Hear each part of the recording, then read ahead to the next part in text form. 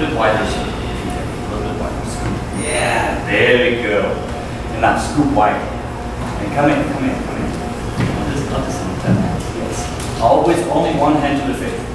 The other hand is down, the other. One hand down, one hand up. Go within your shoulder frames. Once they hit the shoulder frame, push. Reach too far. Not too far. Just within the shoulder. Perfect. You're doing it.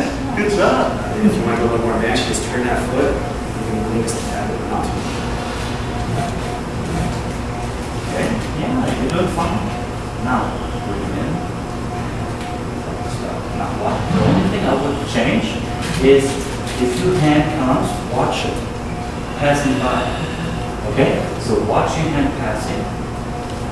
Stop now. Push it down. The other one is scooping away at the same time, and they're passing each other like that. You know, you come and scoop, and this one goes like this way back, and so you're not hitting each other. And this one goes back, this one